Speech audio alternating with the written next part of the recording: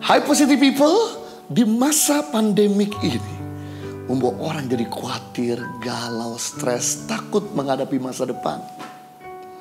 Tapi yang menarik pada pagi hari ini saya mau bagikan dengan topik kunci hidup berbahagia. Supaya kita bisa melewati masa galau. Karena hati yang gembira adalah obat yang manjur. Biasanya orang bahagia kalau kaya, punya posisi, punya pengaruh, punya follower yang banyak. Tapi mari kita lihat pandangan firman Tuhan untuk kunci hidup berbahagia.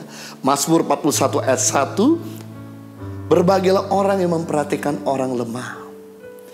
Tuhan akan meluputkan dia pada waktu celaka.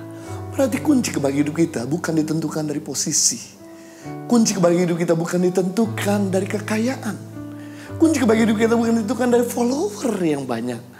Tapi menurut firman Tuhan kunci kebahagiaan kita ditentukan dari memperhatikan orang lemah.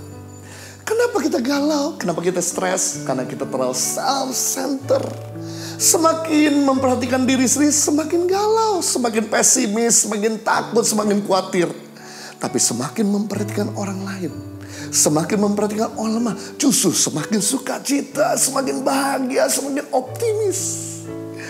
Bapak, Ibu, dan positive people, kalau Anda diputusin pacar, jangan gantung diri pontoge nggak mati-mati.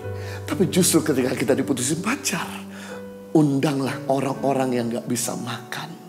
Bagikanlah makanan, maka duka citamu menjadi sukacita.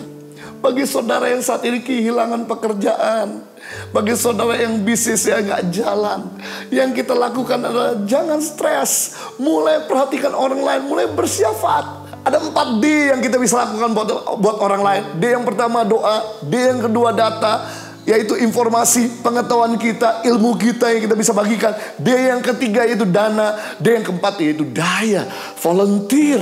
Ketika kita mulai bisa membagikan sesuatu kepada orang lain, maka saya percaya hatimu gembira.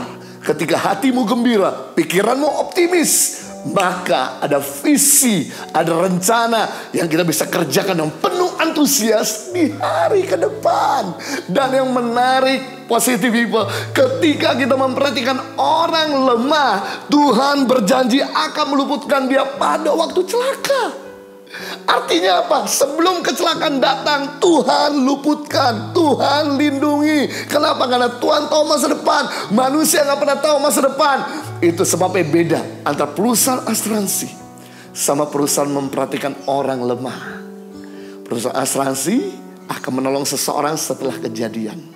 Nggak mungkin perusahaan asuransi menolong kalau kita nggak kenapa-napa. Tunggu sampai kita kecelakaan, patah tulang, kabel infus di mana-mana, perusahaan asuransi datang kami ada untuk menolong. Tapi orang udah keburu babak belur. Iya kalau anggota tubuhnya masih lengkap, iya kalau nyawanya masih ada. Tapi beda sama kalau kita memperhatikan orang lemah. Kalau kita perhatikan orang yang susah, yang nggak bisa sekolah, yang sakit, yang nggak punya makanan, maka yang terjadi sebelum kecelakaan datang Tuhan lindungi. Sebelum musibah datang Tuhan luputkan. Sebelum ada orang jahat mau mencelakakan kita, Tuhan sentil orang itu. Sebelum ada virus corona mau menyentuh kita, maka Tuhan luputkan. Saya berapa kali naik pesawat terbang, Tuhan luputkan berkali-kali. Saya ingat naik pesawat terbang dari Jakarta ke Kupang dalam penerbangan saya berkata sama staf saya yang ada di sebelah, saya mau istirahat jangan diganggu. Dan staf saya dan kemudian saya mulai tidur dan setelah saya tidur 15 menit baru take off dari Soekarno Hatta Cengkareng. Tiba-tiba pilot berkata kita harus kembali ke Cengkareng Soekarno Hatta karena roda pesawat tidak bisa masuk. Staf kami kaget. Pak Jojo gimana? Ini, ini roda pesawat masuk. Pak Jojo gimana? Kemudian saya beritahu, kamu mesti bersyukur. Roda pesawat tidak bisa masuk. Daripada udah masuk, gak bisa keluar. Lebih parah. Mau mendarat di mana? Oh iya betul, iya betul. Kenapa? Tuhan lindungi kami. Sebelum roda pesawat itu masuk. Karena tujuan kami pergi ke NTT Kupang. Untuk menolong orang-orang susah. Itu sebabnya Tuhan meluputkannya. Itu saya cuma mau encourage teman-teman. Kalau kita mau hidup dalam perlindungan Tuhan Karena kita nggak pernah tahu ada orang jahat, kita nggak pernah tahu ada orang nakal, kita nggak pernah tahu ada musibah di depan. Yang kita perlu lakukan adalah perhatikan orang lemah. Yang menarik, ketika kita memperhatikan orang lemah ayat 3, Tuhan membantu dia di ranjang waktu sakit. Di tempat tidur kau pulihkan sama sekali dari sakitnya. Berarti yang men-trigger Tuhan untuk segera menyembuhkan kita. Pada waktu terkapar, di ruang ICU, bahkan di ranjang, nggak bisa berdaya. Yang kita perlu lakukan adalah yaitu kita mulai mikirkan orang lain. Jadi Bapak Ibu teman-teman boleh waktu kita sakit cari dokter. Boleh waktu kita sakit beli obat.